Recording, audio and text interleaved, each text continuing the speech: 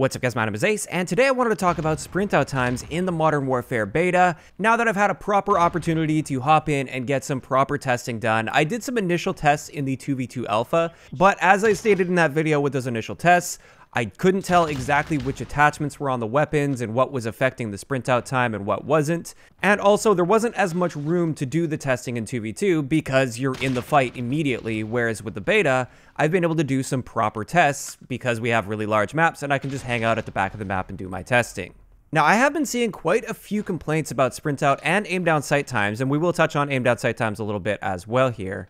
And there's been a lot of people saying that they feel that these sprint out times are too slow in this game. So I wanted to test that theory, and I'm going to be sharing those results with you today. I guess I should start this off by defining what sprint out time is, since anytime I make a video about it, there are several people that don't know what that means. Sprint out time is also known as your sprint to fire time in Call of Duty. This means as you're sprinting, if you press the button to fire your gun, sprint out time is the amount of delay between when you press the button and when your gun will actually go off. And this is a very important value that can really help dictate the pace of a game because if you have a very long sprint out time, that means people are discouraged from sprinting around and therefore they end up playing the game at a slower pace. So hopefully that covers it for you guys that didn't understand. And let's just hop right into the numbers. Let's start off with the assault rifles. Keeping in mind we have two different sprint out times for all of the guns. We have our regular sprint out time when you're using the normal sprint. Then we have the super sprint out time when you're using that super sprint. And of course, this is going to give you a noticeably longer sprint out time. So for the standard sprint out times for assault rifles, the M4A1 is 280 milliseconds, the AK-47 is 300 milliseconds, and the M13 is 280 milliseconds as well. As for our super sprint out times, for the M4A1, it's 400 milliseconds, AK-47 is 450 milliseconds, and the M13 is the same as the M4 at 400 milliseconds as well. Comparing this to the most recent Call of Duty game, where generally people didn't have any complaints about sprint out time, Nearly all of the assault rifles in Black Ops 4 had a base sprint out time of 300 milliseconds. There was the one exception, which was the Vapor, which had a sprint out time of 250 milliseconds, but typically you would see 300 milliseconds. When we compare that to the assault rifles in Modern Warfare, you're actually seeing so far, based on the limited guns that we've had access to to test, we're actually seeing equal to or even slightly better sprint out times on average. However, the super sprint out time is, of course, very, very slow. 400 milliseconds or 450 milliseconds for an assault rifle is painfully slow, but many would argue it should be. That's the risk of using that super sprint feature, and I actually totally agree with that. I think super sprint should be something that's used very selectively, and there should definitely be a risk versus reward to doing that, and therefore I do think it is fair to have a pretty extreme sprint out time. Next up, let's have a look at the SMGs that we had access to in the beta. For the MP5, we had a base sprint out time of 160 milliseconds. Same thing goes with the MP7, this was 160 milliseconds, and the AUG was just slightly faster at 150 milliseconds. As for the super sprint out times for these, these are 300 milliseconds, 280 milliseconds, and 300 milliseconds respectively. Compare that to Black Ops 4, and in Black Ops 4 for SMGs, we had a range of sprint out times from 200 milliseconds up to 275 milliseconds for some of the slower ones, but on average it was roughly like 200 to 250 milliseconds for SMGs. This means, once again, in Modern Warfare, our base sprint out times are actually noticeably better than they were in Black Ops 4. However, once again, also, when you're super sprinting, you are going to be punished more for that, and your sprint out times will be noticeably higher. So finally, I want to look at the LMGs. I'm not going to get into every single one of the weapon classes, but with the LMGs here, in Modern Warfare, the M91 has a standard sprint out time of 350 milliseconds and a super sprint out time of 460 milliseconds. The SA87 is 280 milliseconds for the standard sprint out time and 480 for the super sprint out time. And that one was actually quite surprising because it does feel quite slow in the sprint out department, but that's actually the aim down sight time that you're really feeling there its actual sprint out time is actually faster than the AK-47.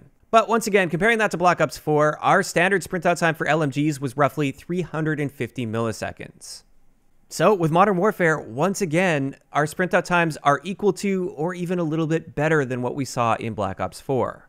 So now for the big question, why are so many people complaining about sprint out times in Modern Warfare and why does it feel slower this time around? This is most likely due to several factors. First off, in Black Ops 4, we had access to the Gung Ho perk, which had a little trick to it. It did reduce your base sprint out times, but not by a really significant margin on a lot of guns.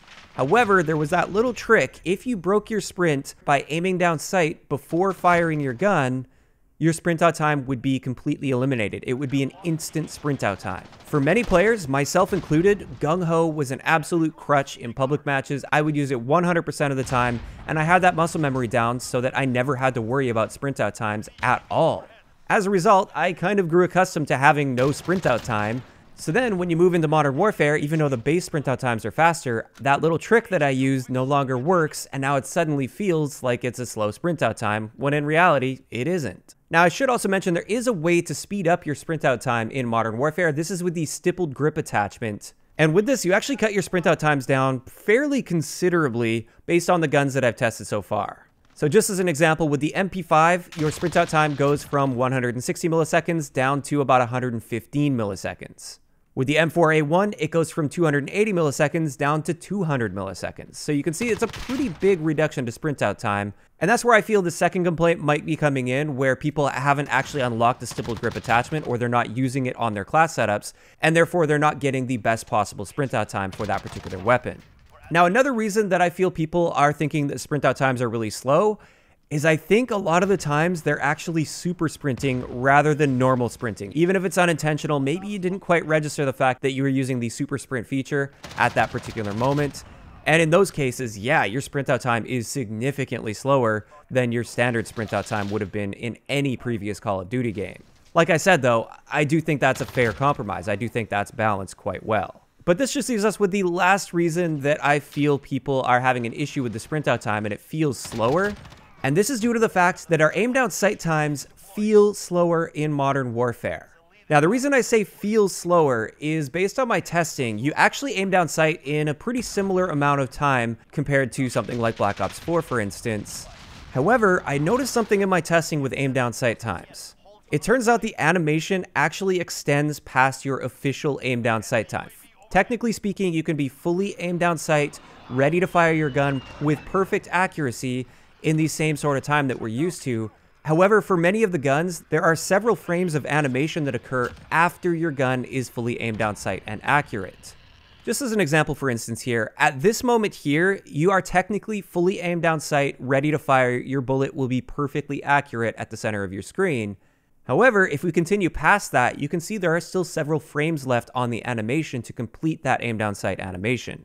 This definitely gives the impression that the aim down sight time is slower than we're used to in Call of Duty, and I don't know why exactly they're doing this. Maybe it's just to show a more realistic look to your aim down sight speed, even though technically speaking, it's not any slower than we're used to. But in either case, I do feel like this is giving people a bad impression of the aim down sight times, and consequently the sprint out times as well, because a lot of people will break their sprint by aiming down sight, and therefore you're not going to be able to come out of sprint and be fully aimed down sight and ready to fire, as fast as you would typically be used to in Call of Duty. So that pretty much covers it for everything I wanted to mention in today's video. For anybody that's complaining about sprint out times, in all likelihood, that's not actually the issue that you're having. It's possible that you just need time to adjust from that little exploit that we had in Black Ops 4 with sprint out times. It's also very possible that what you're actually seeing is just a change in animation with the aim down sight time in Call of Duty.